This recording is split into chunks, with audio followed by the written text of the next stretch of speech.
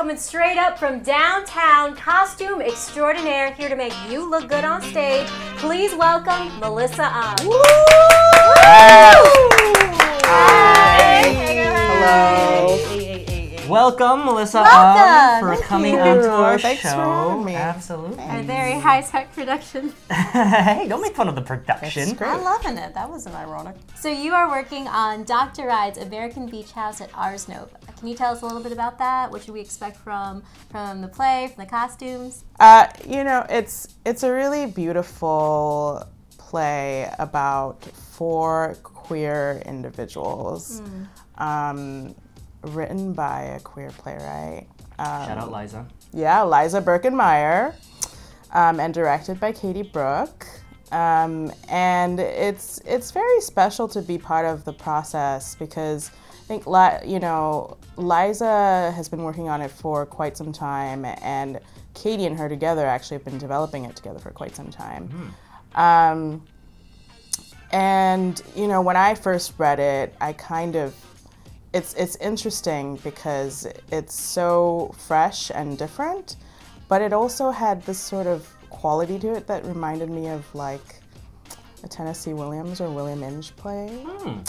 Um, I don't want to give too much away, but just in the sort of structure of it and the I don't know, there's a lot of, you know, this examination of repression of desire and um, how you can be stifled by the place that you're in. Um, you know, it takes place in 1983. So, you know, thinking about what it was like to be queer then and, um, you know, what it's like to not have language for that. So, yeah. Do you, uh, how did you approach that from like a costume standpoint? Gosh, I mean, I think you know it's it's interesting too because it's it's sort of been. I think Liza has set up this really interesting sort of intergenerational queer. I don't know, uh, like community or you know, between the four women that are in it, um, and also sort of seeing how each character interacts with their own queerness and how that is displayed or not displayed. And so for me, it was really a lot about um, finding the subtext there and the sort of hit, like either like clues that are deliberately hidden or peppered in, or things that are a little more explicit. Um, and uh, you know, I think a word that Liza and Katie used when we were discussing this process was dissonance, which I thought was um, really beautiful, and it just sort of figuring out like what the markers are, the the, little markers, and telling you know tell signs. And, Right, right, right. Um, so yeah. When you pick up a script, are there certain things that jump out at you, that excite you? Yeah, I mean, I love I love a lot of plays, but I love I love when stage directions are very visual, but in a very open and evocative way. Um, you know, so like let's say I, stage direction is something like this room looks like the ocean or you know as opposed to being i I see, like very pedantic. about very it. very yeah very pedantic um, or i really love impossible stage directions too um, like you know So is it more? into ocean. yeah Is it so like stage directions as more driven by emotion than like literal sort of Yeah. physical things? or even just how how can you you know i think well i mean i, I think a lot about Erik Ehn's saint plays because i teach too and i actually i teach those plays like in, in this sort of design of like how do you approach because he writes these sort of very i mean there are these short little plays but there's so much packed into them and he'll write something like um, you know, this character is like flying like a moth mm-hmm. by the light, you know, and you're like, how do you figure out how Right. to represent that Right, right, right. Uh-huh. um, on stage? And uh, you know, I mean, I think something he talks about too is like big cheap theater, mm-hmm. and so how do you do it in a way mm-hmm. that is magical but also, you know, not mm. not literal? Right, right. You were born in Hong Kong, but you were raised in Singapore, and you went to school here in the States. Uh, can you tell us a little about like that journey of yours? Yeah. I mean, it's been, you know, I my family's still in Singapore. Um, I was born in Hong Kong because my parents lived there for like the first five years of my life, but you know, they're Singaporean, they're still in Singapore. Um, and I've been in the States, I want to say about 13 years, maybe with like a two year gap in there. Um, and- Same, actually. Yeah. Yeah, 13 years. Yeah. Cool. Oh shit. Cheers. I mean, 2006. yeah, yeah, Yeah, 2006. Um, you know, that's when I left to go to college, and the whole time, I knew I wanted to get out. Um, Singapore is a very small, um, at times conservative place, and it's you know it's still. I mean, it's different because it really shaped me into who I am. But there's still very much some censorship that goes on in the arts. Um, eh, you know, the, at the time when I was experiencing theater, um, you know, there were certain plays that were banned um, Right. by local writers, or you know, the government could come at any point and just be like, "Nope, you're not going on tonight," even if it was opening night. Like they could tell you an hour before, and it, Right. and and that would be it. And so I feel like the stakes there are very different. Um, and so, like, as you know, as this sort of young, angsty 18 year old, I was like, theater, theater is where I'm sort of finding myself. Um, but then also, I was like, I need to get out of here. Right. right, right. so, um, so yeah, I, I left and I went to I went to college in the states, and I've sort of never looked back. Hmm. So was was like so the U.S. was? Did you feel very liberated doing art here, or? Um, gosh. Yeah, I mean, I think as an 18 year old, I wasn't really thinking about whether I would feel liberated, but I did feel liberated in the sense that I felt like, you know, no one really knows me here, so I could be hmm. like another person, or I could, right. or I could be the person that I've been dreaming of being. You know, Oh, there's just okay. that sense of, Right. yeah. So you came straight to New York, New York City. No, I went to Chicago. Oh, Chicago I went, first. I right. went to school at University of Chicago. cool, cool. Yeah, that's a great theater town too. Yeah. Yeah. Yeah, yeah, yeah. I got a Yeah. lot, a lot of roots in Yeah. Chicago. Logan Vaughn would argue that it's better than New York City, but. No. Logan. That's Yeah. that's Oh, cute, the play. Logan. If Uh, yeah, director. big, Director? Yeah. big theaters though. Yeah. Yeah, we had her on the show and we had a we had a debate. Oh, Chicago versus City, great, I didn't, know, I didn't know she was a Chicago person. Yeah. yeah. She lives very here now, much though, right? yeah, she she is based here now. I think. Cool. sh- yeah, she did a. lo- I don't know if she. I know she spent a lot of time in the Chicago mm-hmm. theater scene. I can't remember if she. Great. grew And she's or about to be, was it the artistic assistant artistic director of Ojai? something Oh, like that. Yeah. Great. So Good big for up. her. Yeah, yeah, she's killing it. Yeah. If I may, you know, when I was in Singapore, I was trying to find theater, but the the when I went to Singapore to find theater, the ones that I saw uh, advertised were usually just like really big, splashy Broadway shows. Um, and you know, being being someone that doesn't live there, who just has family there, uh, I I wasn't able to see like where the kind of like downtown-ish stuff was. So, what is the theater scene in Singapore? Yeah, I mean, I think there is definitely a mix of, you know, there's the sort of splashy, they like to do, there's some theaters that really like to do, I guess, what do you call it, pantomimes? It's like a big thing for them. Uh, no hate, no hate. yeah, no hate. No I hate. know, yeah, saying. no, I mean, Just you, ha- you have to bring in the audiences somehow. But, yeah. but I mean, and they like balance it out, you know, I feel like, wh- and which a lot of regional theaters here do too. It's like sort of do the things that they know are going to bring people in and then sort of slip in the stuff that's maybe going to, you know, um, challenge their audiences a bit more. But um, over there, yeah, there's that, and then there's also they're like really small performance spaces. But the thing about I feel, and maybe might be similar to New York, is that in Singapore, like rental is extremely expensive. So a lot of the um, a lot of theater companies, like their shows will typically run like I don't know less than a month because they can't, you know, uh, they can't really afford to rent Right, the theater Yeah. for that long. right, right, right. Um, so that's that might account for why it's like because Yeah, it comes in like spurts and there isn't really like a season the same way that there is here. So it's Mm-hmm. I like see.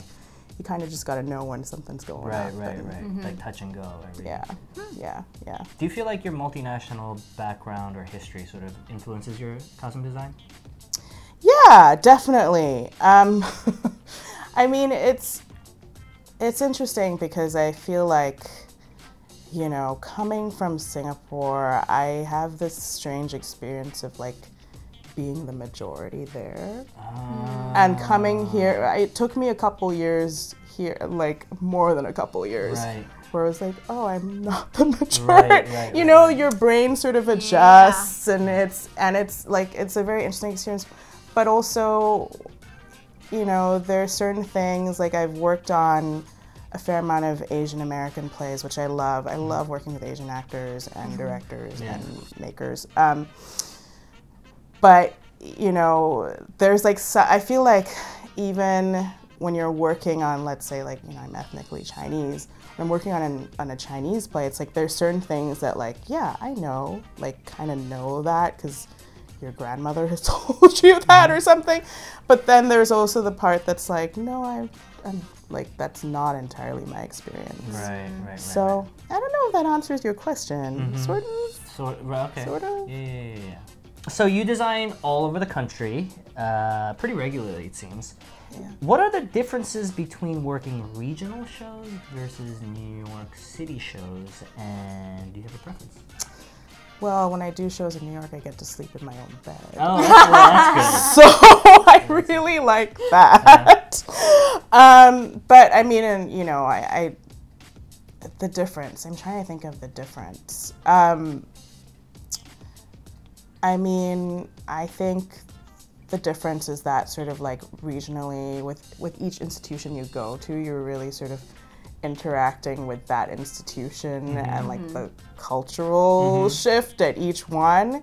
Right. So you're kind of like adapting to each. Um, and also like just learning like the delightful quirks of you know and and there are a lot of institutions that are really welcoming Mm-hmm, um Do you find they're more welcoming regionally than they are in New York City? Because I feel like some New York City institutions are sort of cold.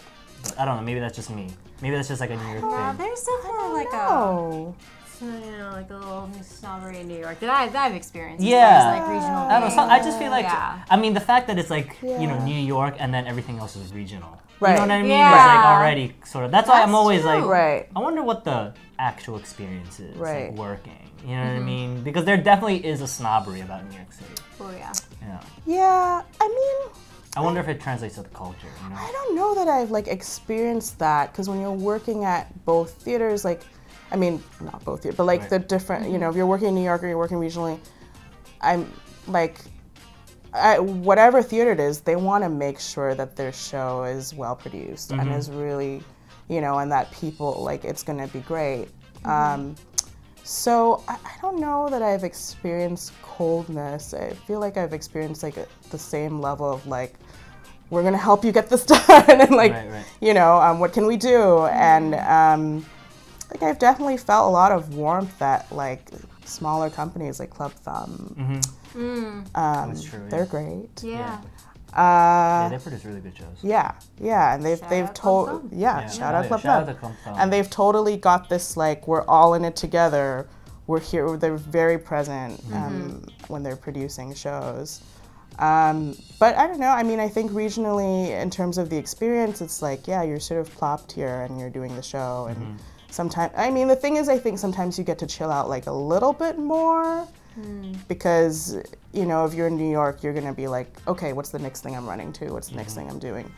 But when you let's let's hmm. say you're like in Milwaukee or like Houston, mm-hmm. you know, the designers are like, well, okay, well, it's after tech, and we're all gonna go back to our hotel, and Right, why right. don't we just get a drink? Right, right, Yeah. right, right. Um, so there's that difference, I suppose. But in terms of like attitudes, I don't think it's that different. Okay, that's good to know. That's yeah, good to know. yeah. So, having designed extensively across the country, what are your three favorite shows that you have designed for? Gosh, you know, I was thinking about this. Mm-hmm. it's hard. It's hard. It's hard. Choose your favorite, baby. Yep. It's tough. Yeah. It's tough because I really, when I say yes to a show, like, it's something that I do really Oh, like, okay. Mm-hmm. love. You know, Yeah, yeah, I, mm-hmm. um, yeah. If, if, yeah.